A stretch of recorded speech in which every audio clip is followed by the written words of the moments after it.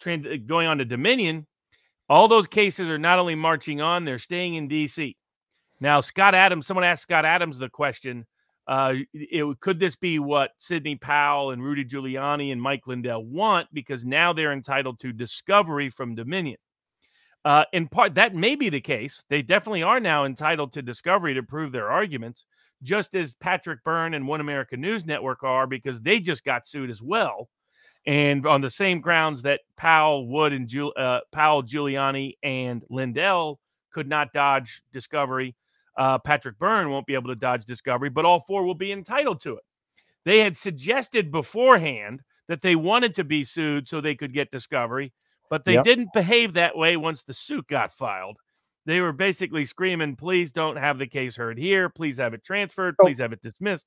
Look, this is where when you get, when you, when you want to get into the motivations and, and all the things you're going to say, somebody who wants to believe the plan is going to say they had to file the motion to dismiss so that when the motion to dismiss gets dismissed and the action can proceed, Dominion cannot then say, we're not going to submit to deposition or we're going, we're not going to communicate certain documents uh, because we don't have to, or we we sued you, so we get to limit sort of what you get discovery to. Some people are going to say they're going to read it the way uh, they want to, which is they had to do this so now Dominion loses an argument to limit the scope of the discovery because they succeeded on their uh, opposition to the motion to dismiss.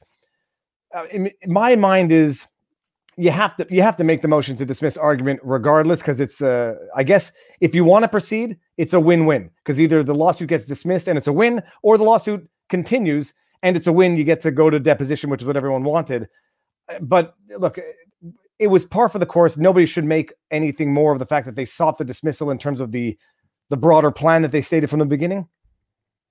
I mean, yeah, I mean, my own view is I don't think this was part of their plan personally, but uh, it, maybe it was. They will be entitled now to discovery. That will go both ways, of course. Um, the mm-hmm. uh, and uh, the big motion they lost was the motion to transfer, because now all of these cases will once they get to a jury trial, they will be heard by a DC jury. So they're they're they're completely screwed there unless they beg the judge later on to you know expand the jury pool to uh, or transfer the case because of jury bias issues, and maybe they'll yeah. be able to get that. But right now, the only upside for them is discovery. Uh, otherwise, they're at serious risk of massive financial damages because Dominion's damages are now mounting. There are more cities, counties, and states that the Dominion will blame on their these statements being made by these people I don't think it'll be 1.6 billion dollars. And I don't know how everybody's responsible magically for the same amount.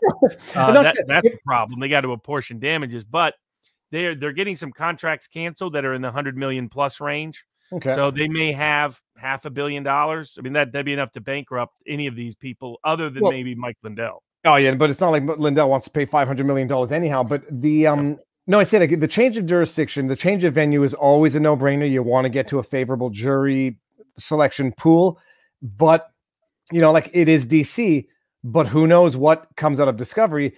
In, in my mind, Dominion's got more exposure on the Discovery than than Lindell and the other defendants because I don't believe they may be ill-founded. They may have uh, I don't know if "jump the shark" is the right word, but they may they may have some wrong impressions in fact and law. But I doubt you're going to see conspiratorial emails among them to say, "Let's make these allegations to screw uh, Dominion." Oh yeah, I agree. What they'll probably the most embarrassing discovery for Byrne, Lindell, Powell, Rudy uh, is going to be that they were put on notice by a range of people that this information was unreliable. I mean, I'm on public record saying that this information was unreliable. So you, you, can you, imagine that other people told them that in email form too.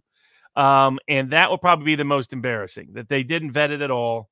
They put a bunch of fraudsters and scam artists and idiots up. And people can just read the court's order. Again, this was a Trump appointee, and he's a relatively decent one as Trump appointees go. Uh, you just look at the details of what's there. I mean, they promoted people who had been convicted fraudsters they promoted people who uh, had been a history of allegations and court determinations of prior fraud. Uh, I, they they said themselves in communications that they had. I mean, it happened again this week in Mike Lindell's cyber symposium. His yeah, own lead cyber expert comes out to the Washington Times. By the way, it was that was the original story. To it was a conservative press. They report and say, "Oh, by the way, we don't have any of the proof that we've been telling him and we have proof of." You know, at his own cyber symposium or at the end of it. I mean, right, what he say? He said they, they, they made, made a lot of mistakes made a lot of dumb, dumb statements. Powell made very aggressive statements, said she had the affidavits that proved it, videos that proved it. No, she didn't. She made it up uh, and she got caught. And that's why they're all in serious trouble. I'm sure there's some embarrassing discovery from Dominion that they can find and get. It's not clear to me that they are prepared to get it. It's not prepared clear so, to me that they have the people to get it because they could have done this in the pre during even file the motion to dismiss, but ask for some limited discovery to prove aspects of the motion to dismiss or to prove like the reason why they lost the motion to transfer, they could have alleged a bunch of facts that this judge probably would have transferred to the Western District of Texas for jury pool purposes. They just didn't even allege it. I mean, they've they they've had they they they filed the most uh they filed only the things that they had to file. It doesn't show the signs of real sophisticated civil litigation so far. So I don't intend None of these people are all Rudy Giuliani hasn't been in court but once since 1992. Mike Lindell does not do a lot of litigation. Uh, Sidney Powell is a criminal litigator, not a big civil litigator. These are people that, and a lot of the lawyers they've hired are decent, but nothing spectacular. So it's not. I think they will be out uh, outdone in court, unfortunately, on this. Um, what was I just about to say? I forget. It was uh no, I'm, I'm gonna forget now anyhow. But Oh, sorry, limited discovery. That was the question. So it's going to be very easy for Dominion to say, well, the discovery of documents that the defendants might be entitled to can be reasonably limited such that Dominion can either limit its exposure or just limit the scope of whatever they're going to have to publicly disclose. And I guess it would be very easy also for them to file a number of things under seal or or or I don't know what the American equivalent is file it confidentially so that the, the world may ultimately never get to see it in the first place. I mean, I think Dominion has made a mistake.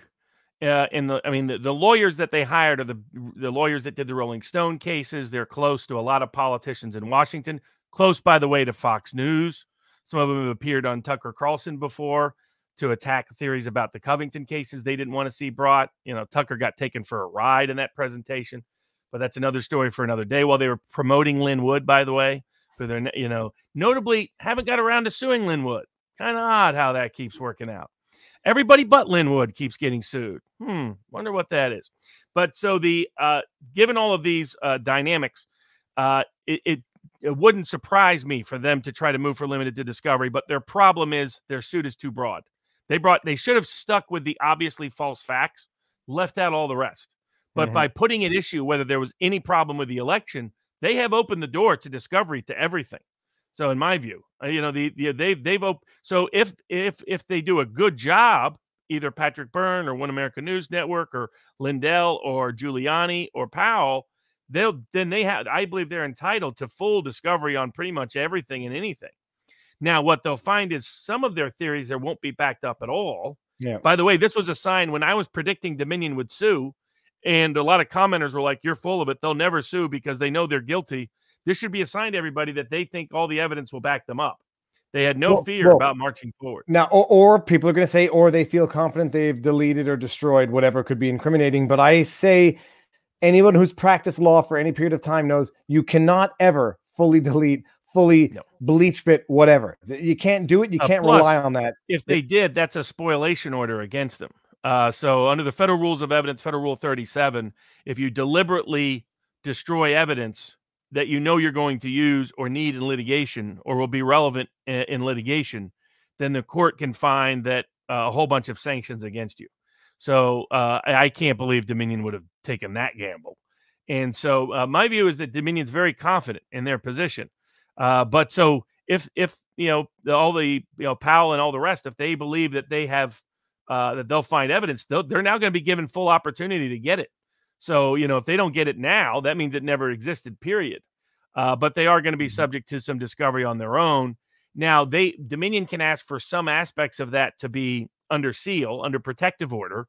And what they'll do is they'll say every time any of these defendants have got even pieces of information, they've misused it and lied about it. So we want limited what they get access to. And the court probably would partially grant that, but not fully but the, they'll have their chance to prove their case, and we'll see if they uh, if they are able to do so.